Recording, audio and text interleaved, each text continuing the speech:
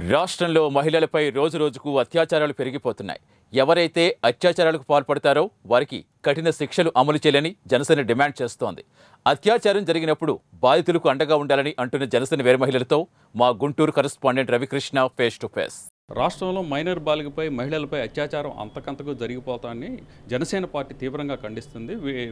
ఎవరైతే ఈ అత్యాచారానికి ఒడిగడుతున్నారో వాళ్ళ కఠినంగా శిక్షలు జరిగిన ఏర్పాటు చేసినప్పుడే మాత్రం ఇటువంటి అత్యాచారాలు జరగవని చెప్పి జనసేన పార్టీకి చెందిన వీర మహిళలు తెలియజేస్తున్న పరిస్థితి అయితే ఉంది. ప్రస్తుతం మన గుంటూరు జిల్లాలో ఉన్నటువంటి ఈ వీర మహిళలతో జనసేన పార్టీకి చెందినటువంటి వారితో ఉన్నాం ఇప్పుడు వాళ్ళని అడిగి తెలుసుకుందాం. మేడం ఇప్పుడు రాష్ట్రంలో ఈ విధంగా అత్యాచారాలు అంతకంతకు పెరుగుతున్నాయి. దాన్ని మీ పార్టీ తరపున ఏ విధంగా చూస్తున్నారు?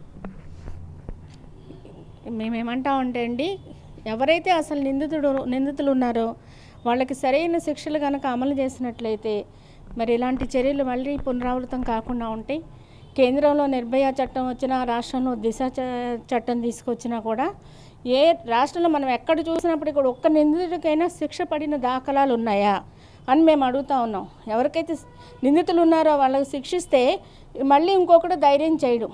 మొన్న జరిగింది చూస్తే శనివారం రాత్రి మరి దీక్షిత గౌరి అనే పాప మేడం నుంచి దూకి చనిపోవడం అనేది చాలా ఘోరం అండి. మరి పద్నాలుగేళ్ళు పదిహేను ఏళ్ళు పెంచిన బిడ్డ అలా చేతులారా చనిపోతే ఆ తల్లిదండ్రుల యొక్క గుండె కోత అనేది మనం వివరించలేనిది అసలు. ఎక్కడ చూసినా మైనర్ బాలికల మీదే పెడతా ఉన్నారు. అతను వినోద్ జైన్ అనే అతను యాభై ఐదేళ్ళు ఉన్నాయి. మరి వివిధ పార్టీల్లో పనిచేసి వచ్చాడు. అతనికి బుద్ధి జ్ఞానం సిగ్గు ఉన్నట్లయితే ఆడపిల్లల మీద ఇలాంటి అగాయిత్యాలకి పాల్పడ్డు. మరి అలాంటివి వచ్చినప్పుడు ఆడబిడ్డలు తల్లికి తండ్రికి ధైర్యంగా చెప్పుకోవాలి కానీ ఇలాంటి వాళ్ళు చనిపోవడానికి చర్యలు తీసుకోకూడదు. వెంటనే వీళ్ళని శిక్ష ఇచ్చినట్లయితే మళ్ళీ ఇంకొకడు ముందుకొచ్చి ఇలాంటి పనులు చేయడని చెప్పి నేను తెలియజేస్తా ఉన్నాను. మొన్న నాలుగు రోజుల నాడు ఒక న్యూస్ వచ్చింది.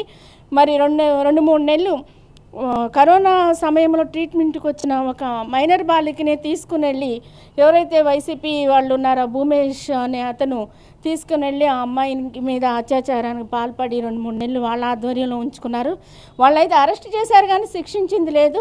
శిక్షించినట్లయితే ఇలాంటివి మళ్ళీ మళ్ళీ రాకుండా ఉంటాయని చెప్పి తెలియజేస్తా ఉన్నాను. ముఖ్యంగా మహిళల మీద ఎక్కడ చూసినా మొన్న నిన్న అయితే చిలకలూరుపేట దగ్గర ఒక పచ్చి బాలింతని ఇరవై మూడు రోజుల బాలింతని అత్త మామ భర్త కలిసి ఆ అమ్మాయిని చంపేశారు.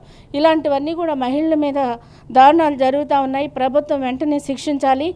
గన్ను కన్నా ముందు మా అన్న వస్తాడని చెప్పి రోజక్క తెగ చెప్పింది. కానీ ఈ రోజున జగన్మోహన్ రెడ్డి క్యాంపు కార్యాలయం చుట్టూ అనేక అఘాయిత్యాలు జరుగుతున్నప్పటికి కూడా ఈ రోజున చర్యలు తీసుకునే పరిస్థితి లేదు. మేమైతే జనసేన పార్టీ నుంచి మేము డిమాండ్ చేస్తున్నా ఉన్నాం.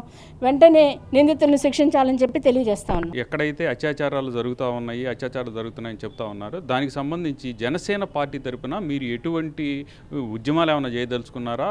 మరి మీ స్టాండ్ పార్టీ స్టాండ్ ఏంటి?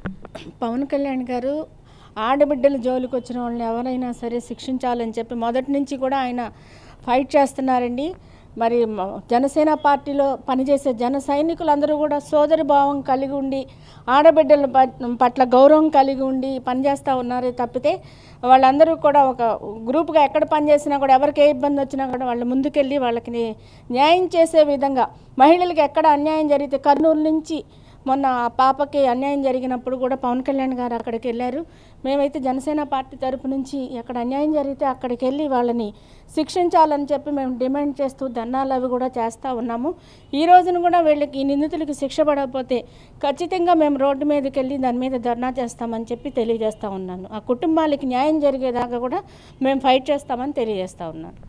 జనసేన పార్టీకి సంబంధించి ఎక్కడైతే అత్యాచారాలు జరుగుతూ ఉంటాయో అక్కడ మాత్రం తప్పనిసరిగా కూడా పార్టీ తరపున ఉద్యమాలు చేస్తామని తెలియజేస్తూ ఉన్నారు. రాష్ట్రంలో మహిళల మీద అత్యాచారాలు అంతకంతకు పెరుగుతున్నాయి కాబట్టి కంపల్సరీగా కూడా ప్రభుత్వం కూడా వీటి మీద దృష్టి పెట్టాలని చెప్పి వీళ్ళు కోరుకున్న పరిస్థితి అయితే కనపడుతూ ఉంది. కెమెరా పర్సన్ సిద్ధుతో రవికృష్ణ ప్రైమ్ నైన్ గుంటూరు నుంచి.